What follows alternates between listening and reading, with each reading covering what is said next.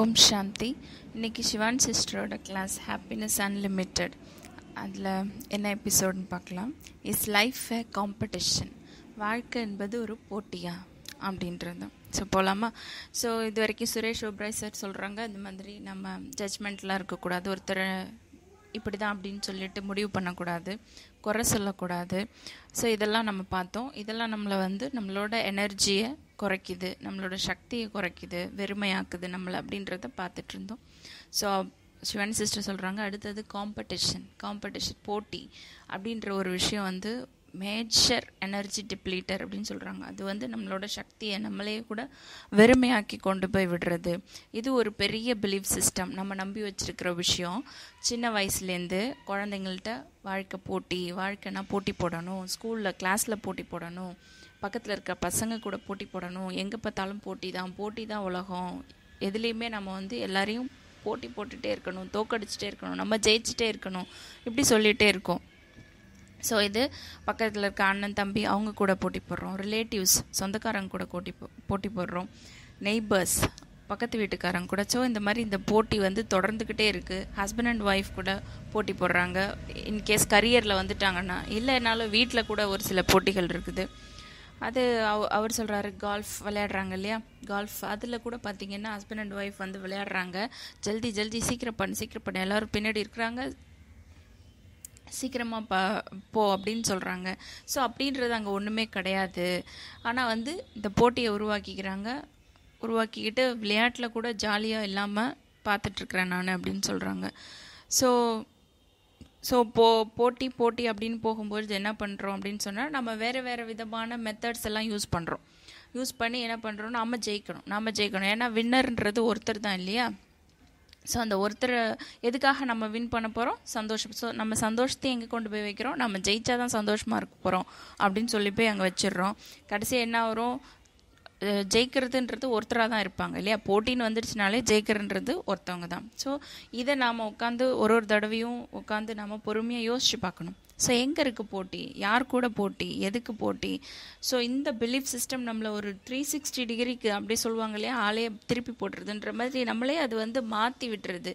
அது கண்டிப்பாக வந்து போட்டின்றது எங்கேயுமே கிடையாது. சரி இப்போ ஒரு உதாரணம் எடுத்துக்கலாம். இப்போ நம்ம டெல்லியில் இருக்கோம் ஜெய்ப்பூருக்கு போக போகிறோம் நல்லா காரில் வந்து ஃபேமிலியோடு போகிறோம் நல்லா ஜாலியாக பேசிட்டு சந்தோஷமாக போயிட்டுருக்குறோம்.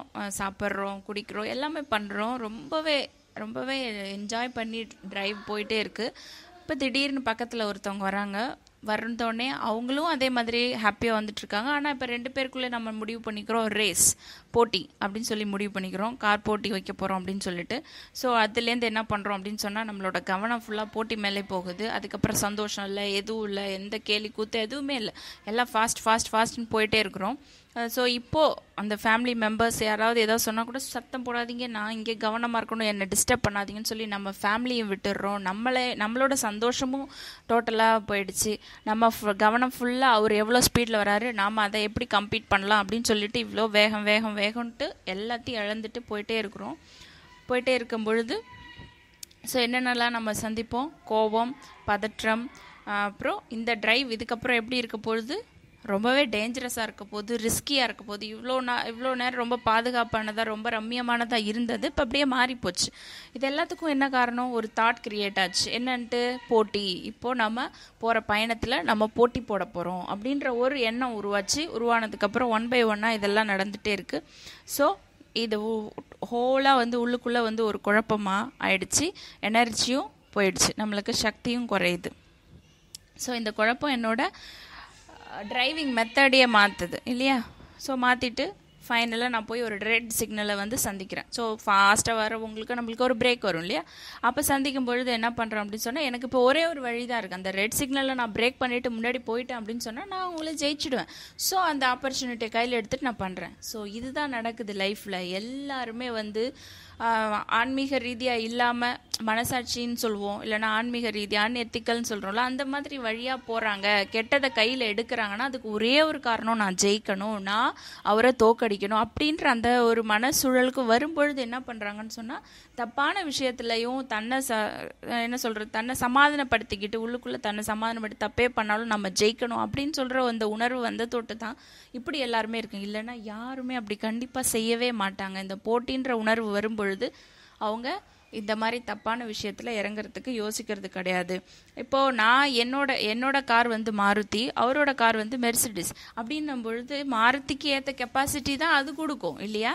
மெர்சிடிஸ்க்கு ஏற்றது தான் அது கொடுக்கும். ஸோ இப்போ நான் போய் அவர்கிட்ட போய் போட்டி போடுறது வந்து எந்த விதத்தில் நியாயம்? கெப்பாசிட்டி ஏற்ற மாதிரி தான். ஸோ இவ்வளவும் தாண்டி ரெட் சிக்னலை பிரேக் பண்ணிட்டு போனால் அனுபவிக்க போகிறது யார்? மாருதி கார் தான். அப்போது நாம தான். ஸோ இது என்ன சொல்கிறாங்கன்னா ஸோ இந்த ஆங்கர் ஸ்ட்ரெஸ் இதெல்லாம் என்ன ஆகும் நம்மளோட உடலுக்கு பாதிப்பு. அதுக்கப்புறம் கர்மா வினைகள். இதெல்லாம் இப்போ நம்ம செஞ்சுட்டு வந்த எல்லா ஆக்ஷனும் திருப்ப யாருக்கு வரும்? அதுதான் கர்மாவாக உருவாகி அந்த செயல்கள் தான் நம்மளுக்கு திருப்பி நம்மளை பாதிக்கப்படுது அப்படின்னு சொல்கிறாங்க ஸோ அவர் சொல்கிறாரு ஃபேமிலியில் ஹஸ்பண்ட் அண்ட் ஒய்ஃப்குள்ள மருமகள்களுக்குள்ள ட்ரெஸ்ஸில் நட நடந்துக்கிற விதத்தில் நடையில் உடையில் எல்லா இடத்துலையுமே எல்லா இடத்துலையுமே நான் பெருசா நீ பெருசா அப்படின்ட்டு நான் பெஸ்ட்டா நீ பெஸ்ட்டா அப்படின்ட்டு அந்த போட்டி உணர்வு நிறைய இடத்துல நம்ம பார்த்துட்டு தானே இருக்கோம் அப்படின்னு.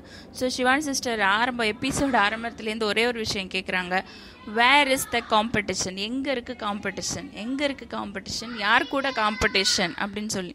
ஸோ எல்லாருமே அவங்கவுங்களோட பயணத்தில் இருக்கிறோம். தனிப்பட்ட அவங்கவுங்களோட வாழ்க்கை பயணத்தில் இருக்கிறோம்.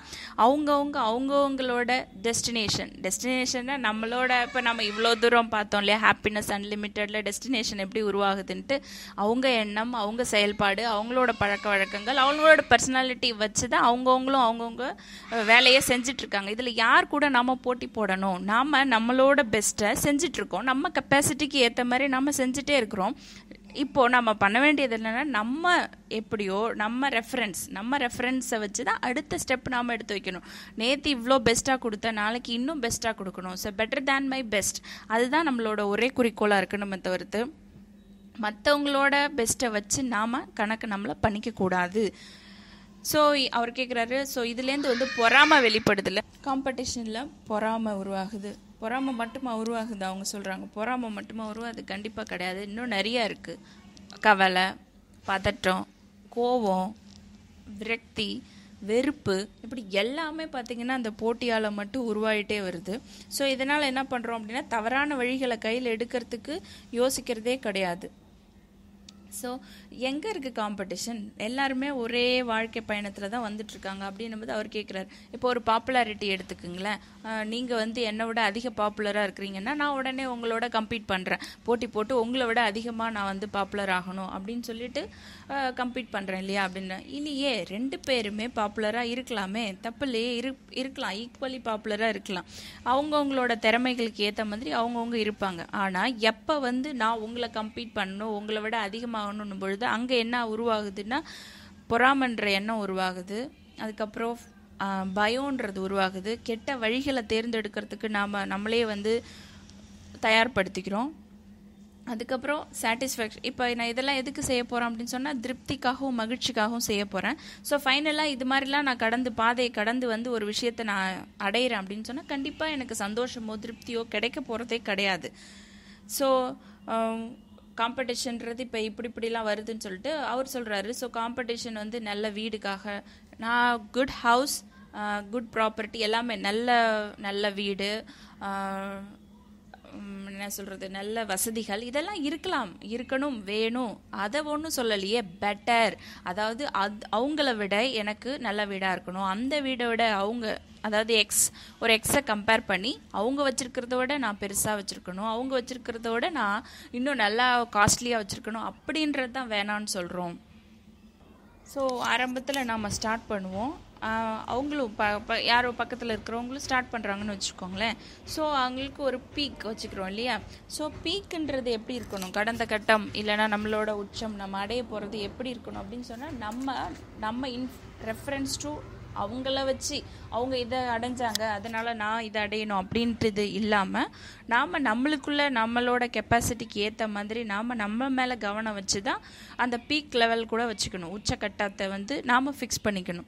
ஸோ எப்படி அப்படின்னு பார்த்தீங்கன்னா நம்ம வந்து கார் ஓட்டிக்கிட்டு போகிறோம் அப்படின்னு சொன்னால் நம்மளோட கவனம் ஃபுல்லாக எங்கே இருக்கணும்? நம்ம எப்படி கார் ஓட்டுறோம்? நம்ம எப்படி ஸ்டாரிங் பிடிச்சிருக்கிறோம்? அப்படின்றதுல தான் கவனம் இருக்கணும். அதை விட்டுட்டு இங்கே பார்த்து அங்கே பார்த்து எதிரில் பார்த்து இப்படியெல்லாம் தப்பு தப்பாக பார்த்துட்டு இருந்தோம்னா நம்மளோட பயணம் எப்படி இருக்கும்? நம்மளோட டிரைவிங் எப்படி இருக்கும்? அது நம்மளுக்கு என்னத்தை திருப்பி கொடுக்கும்? அப்படின்ற மாதிரி தான் இந்த காம்படிஷன்ற விஷயமும். ஸோ மா இப்போ ஒரு எக்ஸாம்பிள் சொல்கிறாங்க மாருதி கெப்பாசிட்டி வந்து கெப்பாசிட்டியோட ஒரு கார் ஒருத்தர் வச்சுருக்காரு மெர்சிடிஸ் அது கொஞ்சம் விலை வசதியானது கொஞ்சம் கெப்பாசிட்டி அதாவது அந்த கிலோமீட்டரில் அதிகமாக கொடுக்கணும்னு வச்சுக்கோங்களேன். ஸோ இது ரெண்டுத்தையும் பார்க்கும்பொழுது இவங்க வந்து போயிட்டுருக்காங்க. ஒரு வேக இந்த மாருதி கார் வந்து வச்சுருக்கிறவர் என்ன நினைக்கிறாரு அப்படின்னு சொன்னால் இந்த மெர்சிடிஸோட க போட்டி போடணும் அப்படின்றது ஸ்டார்ட் பண்ணுறாருன்னு வச்சுப்போமே. ஸோ அவர் என்ன பண்ணுவார்? அந்த ஒரு அந்த வேகத்துக்கு அந்த கார் கொடுக்கக்கூடிய வேகத்துக்கு இது அதிகமாக இவர் வந்து அந்த கெப்பாசிட்டியை யூஸ் பண்ணுறாரு திறனை வந்து இல்லாதது ஒரு விஷயத்த யூஸ் பண்ணுறாரு அப்படியே இருக்கும்பொழுது என்ன ஆகும் அப்படின்னு சொன்னால் இவரோட கெப்பாசிட்டி எயிட்டி அவரோட கெப்பாசிட்டி ஒன் எயிட்டி ஸோ இவரால் எப்படி பண்ண முடியும்? ஓகே ஃபைன் இது ஒரு பக்கம் இருக்கட்டும். இவர் இந்த மெர்சிடிஸ் கார் என்ன பண்ணுவார் அப்படின்னு சொன்னால் இவர் தன்னை பண்ணுறாரு தன்னுக்கிட போட்டி போடுற மாதிரி இவர் போடுறாருன்னு வச்சுப்போமே. ஸோ ஒன் எயிட்டி என்ன ஆகும்னு சொன்னால் இவர் எயிட்டி தானே? நைன்ட்டியோட இவர் நிறுத்திப்பார். ஆனால் ஆக்சுவலாக இவரோட போட்டி அதாவது சாரி இவரோட கெப்பாசிட்டி அப்படின்னு பார்த்தீங்கன்னா திறன் வந்து ஒன் எயிட்டி ஸோ இவரோட டபுள் மடங்கு திறன் கொண்டவர். தான் திறனை அவரோட கம்பேர் பண்ணிக்கிட்டதுனால இவர் அந்த தொண்ணூறுலேயே நின்றுடுறாரு மிச்சம் இருக்கிறதெல்லாம் யாருக்கு போச்சு? எதுவுமே இல்லாமல் லாஸாக போச்சு அப்படின்ற மாதிரி ஆயிடுச்சு. ஸோ ஸ்கூல்லேருந்து ஸ்டூடெண்ட்ஸ் பசங்க வீட்டுக்கு வராங்க அப்படின்னு சொன்னால் அப்பா அம்மாலாம் என்ன கேட்பாங்க? எக்ஸாம் எப்படி பண்ண? நல்லா பண்ணல. ஐயோ ஏன் நல்லா பண்ணலையா? சரி மற்றவங்களாம் எப்படி பண்ணாங்க? நல்லா பண்ணல. ஓகே அப்போ ஃபைன் ஓகே பரவாயில்ல நல்லது தான் அப்போது இது என்ன சொல்லுது அப்படின்னு சொன்னால் நான் படித்தேன் நான் எல்லாமே என் திறமைக்கு நான் ப்ரிப்பேர் பண்ணிட்டு போனேன். நான் எக்ஸாம் சரியாக எழுதலைன்னா என்னாச்சு ஏதாச்சு உன்னோட என்னோட நான் செய்கையை வந்து நான் எவாலுவேட் பண்ணுறது எப்படி பண்ணணும்னா நான் எங்கே தப்பு பண்ணேன் நான் எதை சரிப்படுத்தணும் அப்படின்றதுல இல்லாமல் மற்றவங்க சரியாக பண்ணலையா ஓகே அப்போ ஃபைன் அதனால தான் நீயும் சரியாக பண்ணலையா விட்டுரு. அப்படி சொல்லி மற்றவங்களோட ஒரு சக்தியை வச்சு நம்ம சக்தியை நம்ம திறன் போட்டு பார்க்கவே கூடாது. ஸோ இதனால என்ன பண்ணுறாங்க மக்கள் அவர் சொல்கிறாரு நிறைய பிளாக் மேஜிக் நிறைய தந்திரம் பண்ணுறாங்க சிலர் கொலைகள் பண்ணுறாங்க சில பேர் வந்து இந்த ட்ரக் எல்லாம் கொண்டு போய் அவங்க இடத்துல வச்சுட்டு போலீஸ்கிட்ட சொல்லி அவங்களோட பிஸ்னஸ் எப்படியாவது பாதிக்க பண்ணணும் அப்படின்னு சொல்லி இப்படிப்பட்ட ஒரு கெட்ட செயலெல்லாம் இறங்க ஆரம்பிச்சிடுறாங்க. இந்த போட்டின்ற ஒரு உணர்வு அவங்களுக்குள்ளே இருக்கும் பொழுது. ஸோ இதுதான். வாழ்க்கையில் வந்து இந்த எப்படி டிராஃபிக்கில் ஒரு ரெட் சிக்னல் விழுதோ அதே மாதிரி எல்லாருக்குமே ஒரு ஒரு ரெட் சிக்னல் விழும்போது என்ன பண்ணுறாங்க அதை பிரேக் ஓவர் பண்ணுறதுக்கு அதை எப்படி தாண்டி போகலாம் அதை எப்படி எகிரி குதிக்கலாம் அப்படின்னு சொல்லி பார்க்கும்பொழுது இந்த மாதிரி கெட்ட வழிகளை வந்து சூஸ் பண்ணுறதுக்கு யோசிக்கிறதே கிடையாது. ஸோ இது மாதிரி யூஸ் பண்ணி யூஸ் பண்ணி கடைசியாக வந்து ஜெயிச்சிடுறாங்களே வச்சுப்போமே. கடைசியாக வந்து சொல்லுவாங்க கடைசியாக வந்து சொல்கிறாங்க என்ன சொல்கிறாங்க எனக்கு வந்து சந்தோஷம் சந்தோஷமே இல்லை. ஒரு வெறுமையாக இருக்குது உள்ளுக்குள்ளே ஏதோ ஒரு வெறுமையாக இருக்குது எதை சாதித்த ஒரு திருப்தியும் இல்லை. ஏன் இல்லை? நம்ம கடந்து வரும்பொழுது எல்லாத்தையும் நம்ம சந்தோஷத்தை இழந்து இழந்து எல்லாத்தையுமே செஞ்சுட்டே வந்தோம். கடைசியாக சந்தோஷத்துக்காக செஞ்சுருக்கிறோன்னு நினச்சி உட்காரும் பொழுது ஃபுல்ஃபில்டாக இல்லை. ஏன்னா நாம் அப்படிப்பட்ட ஒரு பாதையை தேர்ந்தெடுத்து அந்த வெற்றியை வந்து அடைஞ்சிருக்கோம் அப்படின்றது அப்போ புரியுது. So I want to reach number one நான் வந்து நம்பர் ஒன் வரணும். ஓகே தட்ஸ் ஆல் அவ்வளோதான் நான் நம்பர் ஒன் வரணும். அவ்வளோதான் என் மேலே முழு கவனம். என்னோட குறிக்கோளை வச்சு எனக்கு இருக்கிற பிரின்சிபல்ஸ் வச்சு நான் என்ன என்னோட காம்பஸ் லெவலை வச்சு என்னோட டெஸ்டினி வச்சு எல்லாமே என்னோ என் என்னோட சார்ந்த எல்லா விஷயத்தையும் வச்சு நான் இலக்கை வந்து முடிவு பண்ணுறேன் அதுக்கு ஏற்ற மாதிரி நான் உழைக்க போகிறேன் அவ்வளோவே தான். மற்றபடி இதில் வேறு யாருமே பக்கத்துலேயோ எந்த கம்பேரிஷனும் வர வேணாம் காம்படிஷனும் வர வேணாம். ஸோ இந்த ஒரே ஒரு நாள் வாழ்க்கையில் வந்து வாழ்க்கைன்ற இந்த பயணத்தில் நாம் பயன்படுத்தும் பொழுது கண்டிப்பாக பொறாமையோ இந்த டென்ஷனோ இந்த அன்ஹாப்பினஸோ இது எல்லாமே வந்து வெறுப்பு இதெல்லாமே ஒரே செகண்டில் காலியாக போயிடும். ஸோ இந்த உணர்தல் இந்த காம்படிஷன் லைஃப்ன்றது ஒரு காம்படிஷன் கிடையாதுன்ற ஒரு உணர்தல் வரணும். இங்கே காம்படிஷனே இல்லை ஒன்லி கோஆப்ரேஷன் ஒத்துழைப்பு மட்டுமே இருக்குது